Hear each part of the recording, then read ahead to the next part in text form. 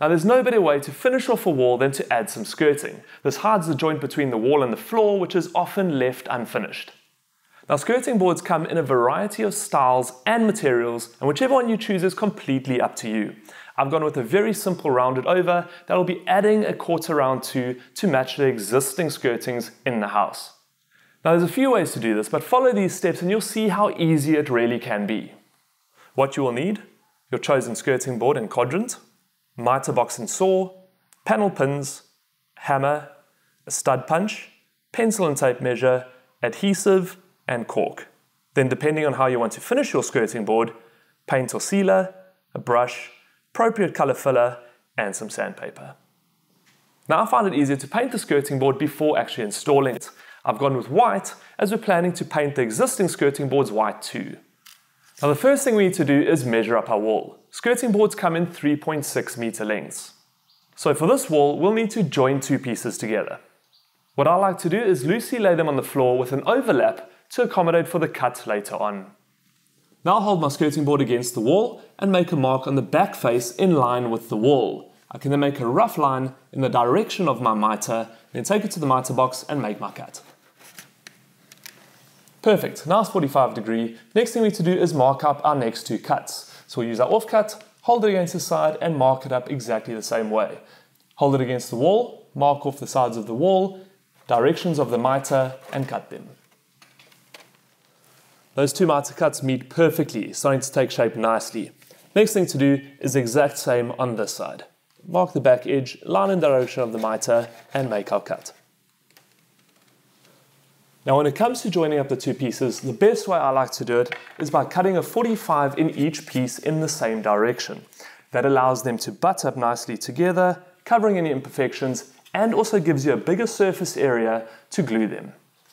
The best way to do that is push them together and draw a mark where they meet. Then draw a 45 in the same direction across them both.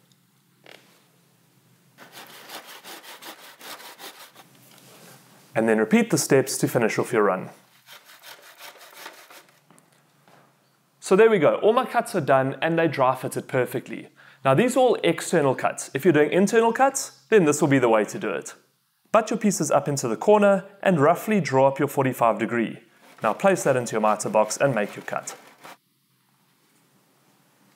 Now it's time to secure our skirting to the wall. Best way I find is lay your skirting on its face and apply your adhesive.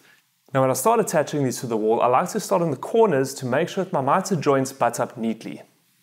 Okay, my joints are matching up nicely. I'll just use a few panel pins just to hold them into place. I like to use panel pins in all my mitre joints, just to keep them together while the glue sets. I then use a stud punch to countersink the nails so I can fill them and completely disguise them. So as you can see, the skirting's in, looking great, but you can see because of the level of the floor that there are some gaps and imperfections. This is where the quarter round comes into its own. As you can see, if I place it there, it disguises and hides all those imperfections and gaps and finishes it off perfectly. So now we can mark up and cut our quarter round in the exact same way we did the skirting boards. My quarter round's all cut and dry fitted. The next thing to do is secure it to the skirting, using a bit of adhesive and some panel pins to hold it to the skirting board. Remember, we're not sticking it to the floor. The floor, especially being wood, will shift a bit and cause cracks, so we want it free floating and only secured to the wall. Again, I like to start with the corners just to make sure that my mitre joints butt up and match up nicely. Now don't forget to countersink your nails with the punch so that you can hide them with some filler.